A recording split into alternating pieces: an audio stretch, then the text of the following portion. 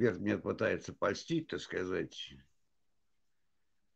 учитывая ваш багаж, да, может вы знаете что-нибудь про международного регулирования, практики применения принципа права. Принципа права никогда не применяется вообще.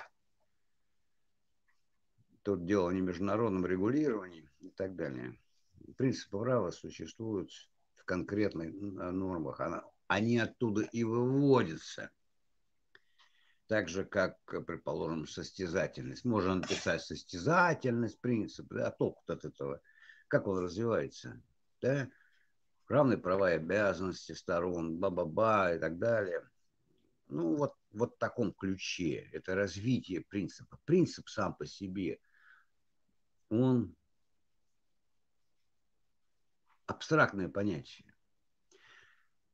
То же самое, давайте вот, да, и, и более того, э, принцип права существует как бы сам по себе. Но он это, это фикция на самом деле. Вот посмотрите, общее водопользование было, да? принцип водного права, общего водопользования. Принцип, принцип. Какой?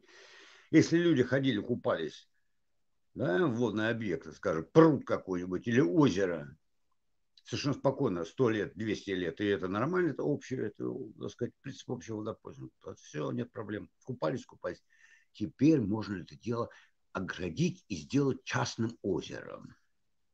Принцип есть? Есть а закон по-другому. Поэтому закону на этот принцип наплевать. Вот в чем смысл. То же самое лесопользование. Принцип общего лесопользования. Был, был.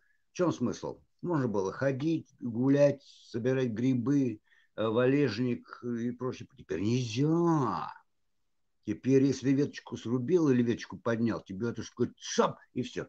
Поэтому, по большому счету, принципы – это то, что развито там. И мы можем сколько угодно рассуждать на тему, что принципы существуют. А что ты сделаешь? А? Что, Конституционный суд скажешь? Принцип какой-то там. Принцип в голове. Вот и все. А если его там нет, то никакого принципа не существует. То же самое, кстати говоря, была попытка значит, скважины обложить налогом.